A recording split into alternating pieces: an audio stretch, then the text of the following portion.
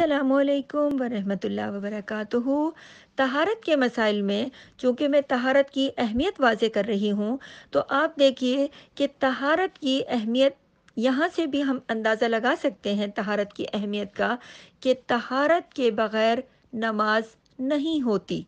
आप ये देखिए कि इस सिलसिले में हदीस शरीफ है। हज़रत अब्दुल्ला बिन उमर रज़ील्लाहु ताला अन्हु कहते हैं कि मैंने रसूल अल्लाह सल्लल्लाहु अलैहि वसल्लम को फरमाते हुए सुना है। अल्लाह तहारत के बग़ैर नमाज़ कबूल नहीं करता और माल गनीमत से चोरी किए हुए माल का सदका कबूल नहीं करता, इसे मुस्लिम ने रिवायत किया है। हज़रत अबू सईद खुदरी रज़ी तहो नबी अकरम सल्लल्लाहु अलैहि वसल्लम से रिवायत करते हैं कि आप सल्लल्लाहु अलैहि वसल्लम ने फरमाया, तहारत नमाज़ की कुंजी है। नमाज़ की इब्तदा तकबीर और अख्ताम सलाम फेरना है। इसे इब्ने माजा ने रिवायत किया। तो आप देखिए कि इन अहादीस की रोशनी में हमें इस बात की अहमियत का अंदाज़ा होता है कि नमाज़ किस कदर अहम इबादत है। लेकिन इस अहम इबादत को करने के लिए हमें जो सबसे अहम अमल करना है तो हमें तहारत की अहमियत को समझना होगा।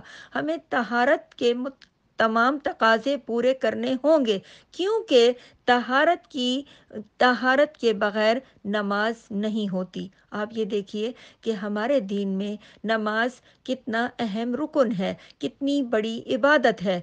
अगर तहारत ना होगी पूरी तरह तो नमाज़ काबिल कबूल ना होगी। जैसा कि नबी करीम सल्लल्लाहु अलैहि वसल्लम ने फरमाया कि तहारत के बग़ैर नमाज़ कबूल नहीं होती। तो देखिए कि हमें हर नमाज़ से पहले करना क्या है? तहारत, पाकिजगी का, पाकी का अच्छी तरह ख्याल रखना है।